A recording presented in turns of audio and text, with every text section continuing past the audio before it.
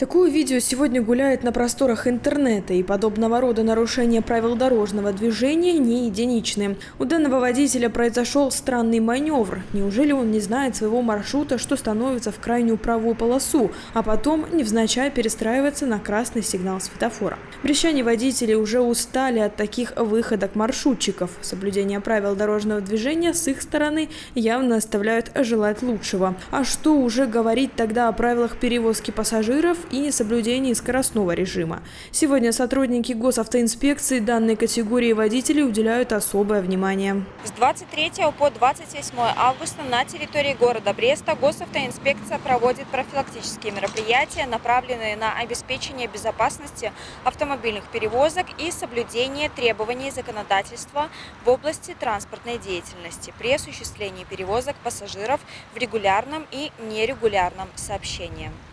В ходе рейдовых мероприятий инспекторы проверяют техническое состояние, необходимую документацию, а также правомерность переоборудования транспортных средств, которые выполняют перевозки пассажиров.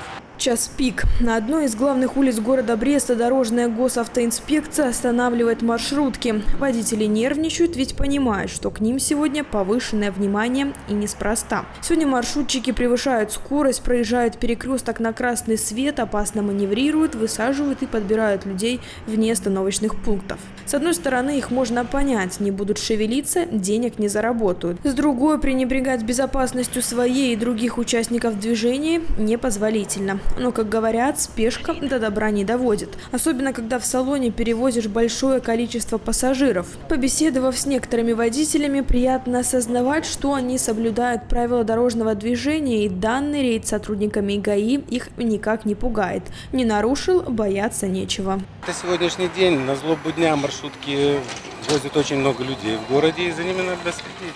Поэтому город взялся навести чуть-чуть порядок, взбодрить водителей, перевозчиков. Это нормально. На сегодняшний день не хватает э, грамотных, квалифицированных водителей, не только на маршрутах, но и везде. Поэтому за руль приходят люди, которые, может быть, не должны были работать в общественном транспорте. Но от не менее водителей их приходится брать.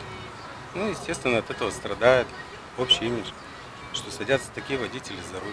Я честно скажу, все мы не без греха. Э, мы маршрутчики, народ такой, мы не без греха. Но стараешься, стараешься не нарушать, как бы, э, иногда не получается, врать не буду.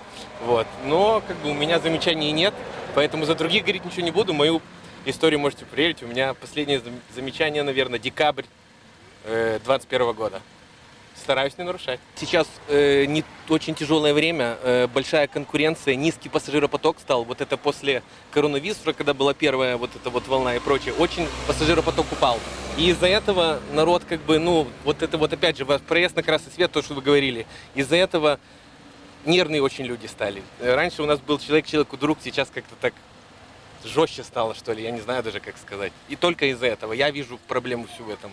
Чуть бы люди больше активней Э, с нами ездили, мы бы были спокойны. Вы же знаете, маршрутчик едет довольный, когда он, у него полный салон. Вот и все. Сейчас люди хотят передвигаться не только быстро, но и комфортно. Получается ли это? Как показал наш своеобразный запрос, на каждого не угодишь. Но все же сделаем определенные выводы. Устраивает. Единственный, может, вариант, что в страшную жару в эту не во всех были кондиционеры. А так, в принципе, нормально.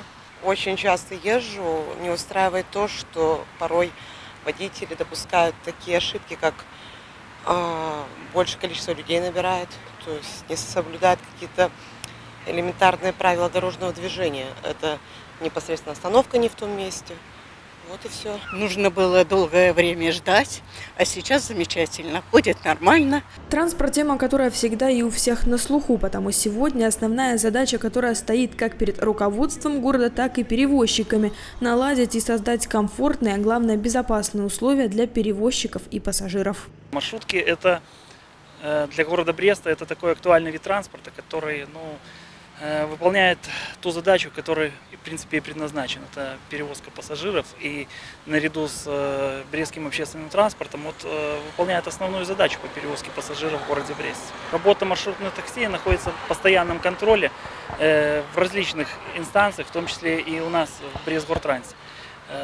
Ведется постоянный мониторинг работы через диспетчерскую службу, отслеживается соблюдение расписания, э, выполнение рейсов э, и в будние дни, и в выходные дни. Ведется контроль за тем, как соблюдается правила дорожного движения водителями маршрутных такси. У нас есть база, где вносятся эти замечания, которые получают, ну, нарушения, вернее сказать, водители маршруток. И после этого на комиссии у нас на предприятии с представителями ГАИ и исполкома мы рассматриваем эти вопросы и э, провинившимся, скажем так, ну, выносим предупреждение вплоть до расторжения договоров. Так что порядок в этой сфере стараемся контролировать в полном объеме. С начала текущего года на территории Брестской области зарегистрировано 14 ДТП с участием водителей-перевозчиков, в которых один человек погиб, а 16 получили травмы различной степени тяжести. Чтобы не стать жертвой ДТП, водители пассажир не должны пренебрегать установленными правилами дорожного движения. Ведь правила на то и правила, чтобы их соблюдать.